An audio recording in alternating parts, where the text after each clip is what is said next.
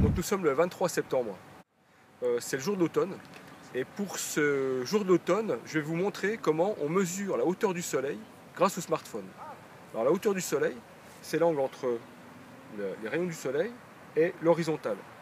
Donc cette hauteur du soleil est très utilisée par exemple pour faire des expériences type la mesure d'Ératosthène, donc pour mesurer la, la circonférence de la Terre. Donc là, aujourd'hui, on va s'intéresser juste à comment mesurer la hauteur du soleil. Normalement, on prend une ombre, parce qu'on ne peut pas regarder le soleil directement. On prend une ombre, on prend un bâton, on mesure la hauteur du bâton qui est verticale, on place sur un sol horizontal, on mesure la, longueur de l'ombre, et en faisant le rapport des deux, on arrive à trouver la, tangente de l'angle. Ici, c'est beaucoup plus simple. Donc, il y a deux possibilités.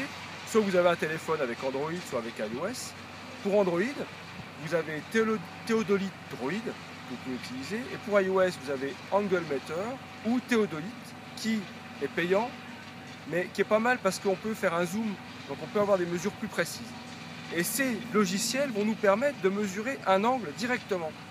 Donc pour faire cela, donc je vais vous montrer, il faut qu'on puisse voir son ombre, donc l'ombre de son téléphone. Donc on vise l'ombre du téléphone en ouvrant soit Angle Meter, soit Theodolite, soit Theodolite Droid. Donc vous voyez ici le capteur, euh, le capteur euh, photographique, et donc il faut viser dans l'ombre la position de ce capteur. Donc ici il est sur le bord, sur ce téléphone il est au milieu, et donc on vise dans son ombre la position de son capteur.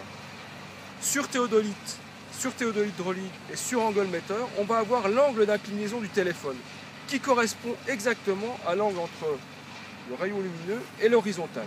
Donc en faisant cette manipulation, on obtient directement la hauteur du soleil.